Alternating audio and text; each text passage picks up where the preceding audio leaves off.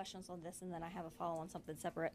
Um, why did it take so long to brief the secretary about the leaks? He said that he was briefed on April the 6th.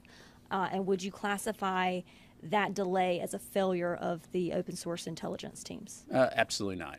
Uh, we were notified, you know, the department became aware on the 5th. The secretary was briefed hours later in the morning of the 6th. I, d- I don't consider that a delay. Thanks. Yeah. To follow on that, these documents were available long before April 5th and 6th. So what took so long for DOD and the intelligence communities to, to locate these documents? Yeah, so that's really something that the investigation will tell us. Um, that said, I think it's important to remember that, that DoD's intelligence activities are primarily focused internationally.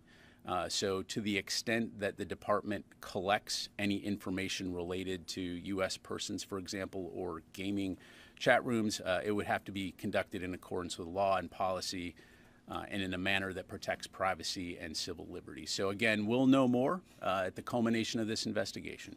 Thank you. Let me go. To follow up No, on let me